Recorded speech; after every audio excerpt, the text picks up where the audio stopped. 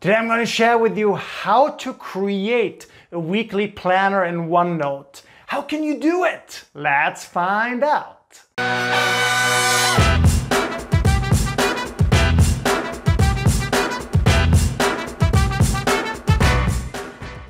By the way, if you're new here, make sure to hit that subscribe button. Don't miss out on future videos. So how can you create that beautiful weekly planner in OneNote? Let's jump right into it. Let's jump right into the app. And why do I choose this app for my weekly planner? Well, very simple. I can customize it, right? It's beautiful, it's simple. And secondly, it syncs very, very well and it looks great on your smartphone also. This is so important for me because I don't always, always have my laptop with me. I don't know about you, but that's the beauty of it. So let's jump right into it. What are the five steps? The first step that you gotta have for your weekly planner always, right, is your life categories. By the way, I'm not gonna go over every single detail how to plan out your week. Yeah, I made another video about that and many other videos in regards to daily planning and so on. You can check those out as well. I'm going to show you how to create that planner quickly, efficiently, and you can follow along if you want. You can have your OneNote open right now. So first thing we want to have, we want to have our life categories ready. Yeah, so what you do over here, first of all, my recommendation is that you open a section called weekly. Yeah, that's the first one. And then this is the how to create thing right now. But you open basically a page and you want to call it weekly or W template. Yeah, and just do it for now. I'm going to explain later why we call it template.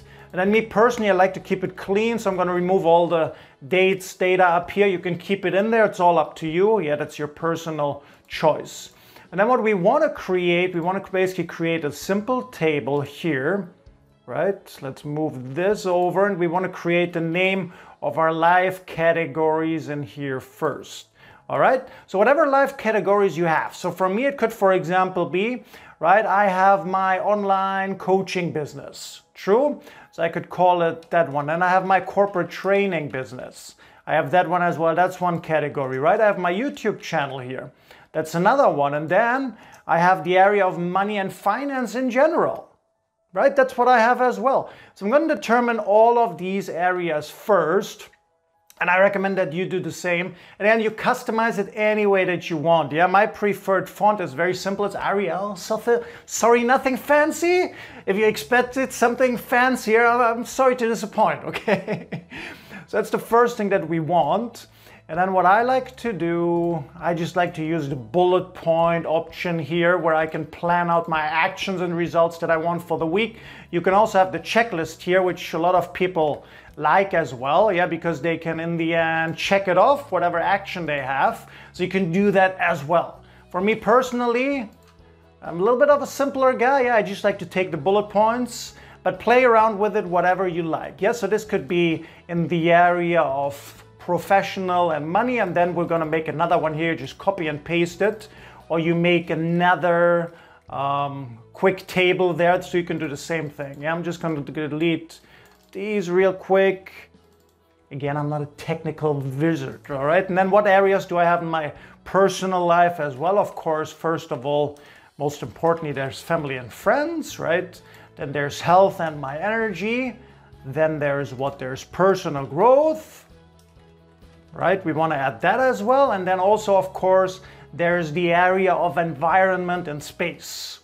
Yeah, I usually like to, oops, I like to call it space so this is your environment, this is your workspace, your home, your car, everything, all the space that you basically have to take care of. I'm a big believer that if things are set up the right way there, everything else flows more smoothly as well. Most people don't even think about too much about this area. All right, so that's the first step that we want to take, okay? Determine what are your life categories for everybody else. It's different yeah, organize it in a way that matches you. But usually for most people, it's somewhere between six to 10 categories. Yeah, so for me here, it's eight, as you can see. So that's the first, first step. The second step, very important, use colors. now we want to use colors. One of the most amazing tools that I've learned years ago was that actually, because we, you know, our mind, right? We have uh, the right, the right side, the left side of our brain, and this sparks more to the creative side. All right, so when you have your weekly planning and it's all boring and dry, you're missing that creative spark, and there should be both. You should have logic and emotion when you do your weekly planning. Yeah, so the color comes in. So for my online business, right, my habit coaching and everything else, right, that's of course orange. Corporate training, that would be a lime green. Yeah, I would have a more customized version. I just do it quickly for you here.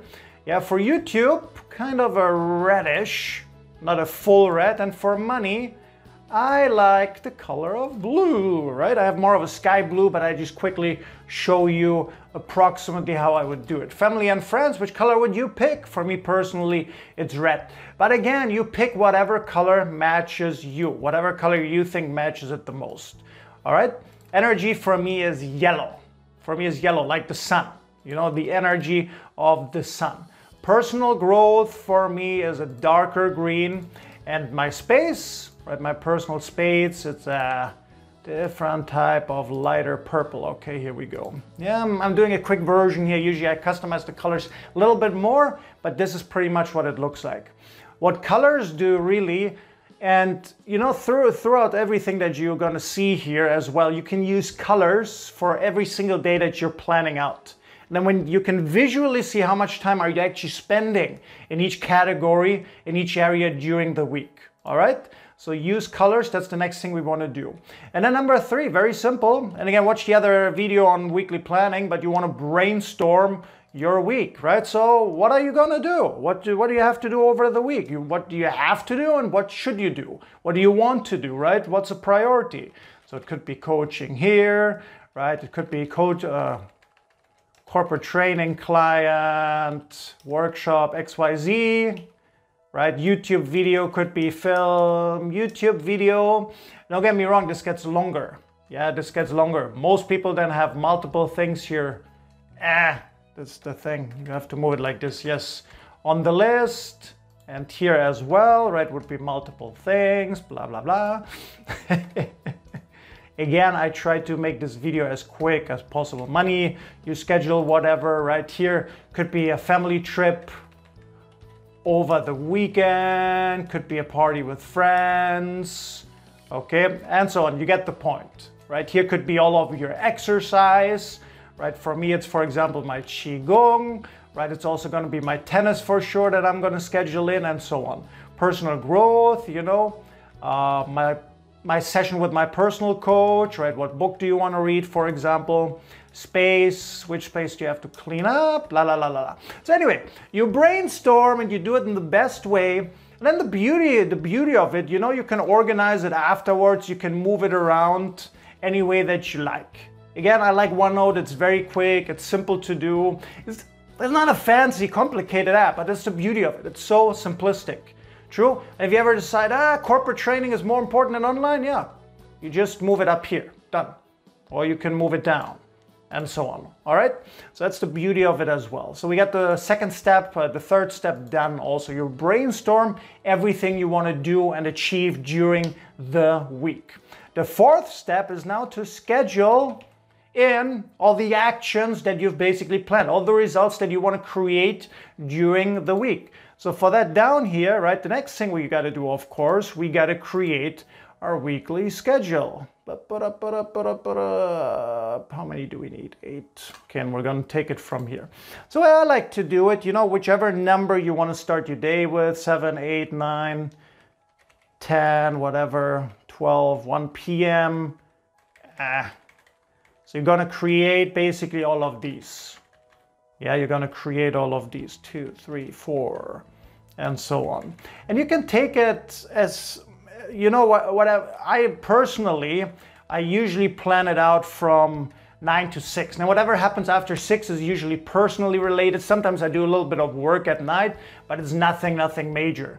Yeah, some people like to have every single hour in here. Me personally, I have time blocks. I have the morning time, then I have nine for nine to 12. 12 is the lunch break, right? And then from one to six, I do something and after six too.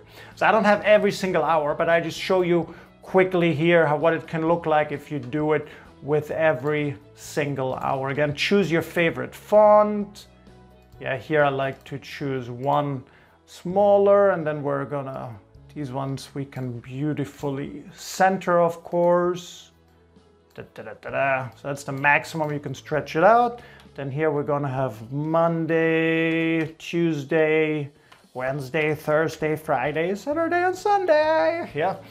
Jesus, I'm a genius. I know every day of the week. Forgive my silly jokes, but you know me by now. Yeah, I like to joke around. So we'll have that, and then you can change the color of it as well if you want to. That's the other thing you can do as well. Again, one of my favorite colors is orange. And then what we gotta do is, and this is just, you gotta do it first time in the template. Yeah, this is where you just, this is one thing where I would be to OneNote. That it would be great where if there was a way to make sure that each part has the same length, but I've tried several ways, it doesn't work. So you gotta stretch it out until you feel it's enough space so you can basically schedule in your actions. Yeah, so you can schedule that in. Good, good, good, good, good. So perfect. So it could be like this. And let's say all Monday long I have a I have a workshop, right, for my corporate training business. And I usually just put a workshop here. And then again, what you can also do, and some people like to do that, and for some people I recommend it. I used to do it as well. I don't do it anymore now. But basically, you can use the color of the area of life that you're working on during that time and you can color highlight it. It's a beautiful way to see patterns, to see are you spending enough times on the right things or on the wrong things. All right, so this one we could of course then do in the, where are you, lime green. Right, maybe you want to write workshop here twice, it's all, it's all up to you. Right, and you can do the same thing for family and friends. Let's say you have your, your weekend trip here. So this, this is all for the trip. Again, you can center it here if you want to, right? So it's all up to, you. again, this the beauty of it, it's so, so customizable. Yeah, and that's what, that's what I love it. You can create it the way that you want it and moving things around is very simple in here. That's what I love as well. Yeah, so you color code it if you want to. That is up to you. Again, the point here is if you want to. For some people, it works beautifully. So think about what you want to do there. Okay, good. So scheduling we did. Yeah, this is a good example. And then number five, the most important thing is the upkeep. How are you gonna upkeep it? Yeah, so we got the weekly template here now. So what you wanna do, you make a copy of it. So my suggestion is, so here we already planned out a week, correct? Let's say this is a week. And the way I like to do it, and sometimes it doesn't work right away. I like to put W at the front and then 2022 dot whatever month it is. Right now it's October. And then I like to put dot one because it's the first week of October. Some people like to put the first scheduling date in there, okay? Some people do not, but this is how I like to track it. And so every month I have usually four or five, depending on the month, but four or five, right, weeks that I can instantly find. If I have to find them, I have to check something later. What have I done in that week? That is the beauty of it as well. Yeah, and why do you have the template? Well, the template is simple, right? And I have not done this here, but I'm gonna do it very quickly one time. But the template is basically you wanna have this empty canvas just of your categories. And also down here, right, nothing pre-scheduled. So just as we know, an empty template really. Let's quickly do that. Ole. Yes, okay, very good. So you got your template and then basically every single week, right, when you have to start new, you create the template here. And then me usually, I just like to, I'm lazy there. You know, it's called speediness, right? I know you're a speedy person too, that's why you're here with me. And I just add added two for the next week. Boom, done, ready to go. And then here's what you do. This will add up over the weeks. And again, I like to keep it simple. So I have an extra section that I call W or week for weekly, right? Archives. So that's here. And so once I am done with this week, and usually I leave two or three weeks in here, but basically I'm gonna move it over to archives. Yeah, so it's all still in here. My new one, my template is in here, but in archives here, I can go back and check months, years back, if I want to, and because of I did a great job, you know, putting the right numbers on it in the right way. Again, year, month, and then whatever week of the month it is, it's the easiest to find ever. It's super quick to find, yeah? So that's another beauty of it too, to keep it up. So guys, there you have it. So that's how you can create your own weekly planner in OneNote. Yeah, if you enjoyed this video, give it a thumbs up. Again, if you're new here, subscribe. Don't be shy, all right? And most importantly, I really look forward to seeing you for the next video.